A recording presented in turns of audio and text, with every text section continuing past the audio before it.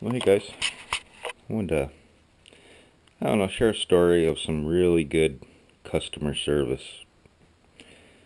Um, just above and beyond what I was expecting. I ordered some uh, Acme Acme thread lead screw. You know the precision ground, and you know they're kind of expensive. I thought for for what they are, but you know, just better than any threaded rod you could get at a hardware store, I'm sure. Or at least around here. Um, so I was real excited. They came in uh, like three days, pretty quick, you know, just they came up from California. And so I threaded one of the nuts on. They they came in a separate box.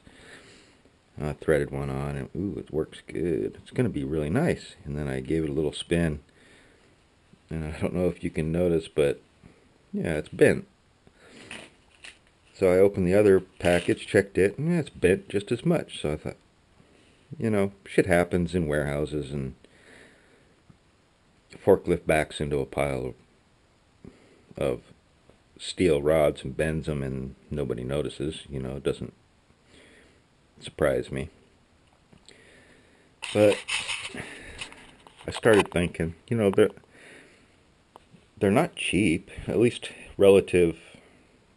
It's all relative and not cheap to me. you know, oh, I thought they were kind of expensive. And, and I noticed on the website it says, you know, contact us, you know, and I, I just wanted to say, I just wanted to say that you know, God, they were marketed or advertised as, you know, precision and and everything. And I thought that was maybe false advertising. I mean, they're bent. if they're all bent, you know, how can they say that? And that was just what was going through my head. I sat down and said, well, I'll just let, let them know that they arrived, but they were kind of messed up. Anyway, I got the first sentence, you know, Ordered these. Well, I put expensive, but because that's relative, it's, you know, for me they were expensive.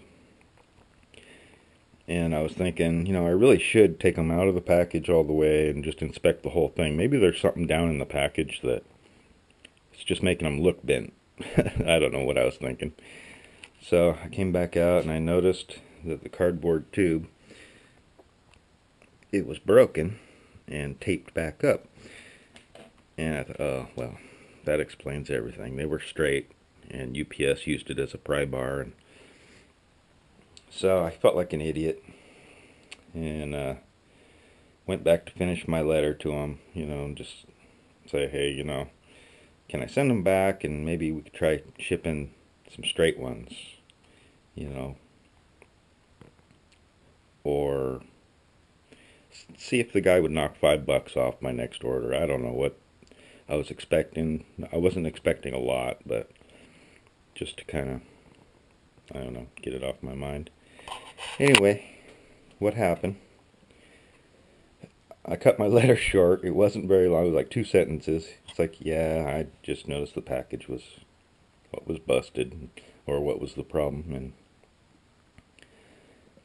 the guy answered back real quick. It's really amazing. They, it was late. It was in the evening, but they had a guy there um, doing their customer service, and he says, "No problem. We're sorry. It sorry it arrived damaged.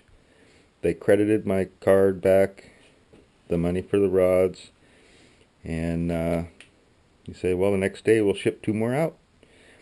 So I'm waiting for the other two to arrive and I expect, you know, when I get them, I'll I'll email and say, you know, they arrived fine and they look good, and credit my my card, you know, bill my card.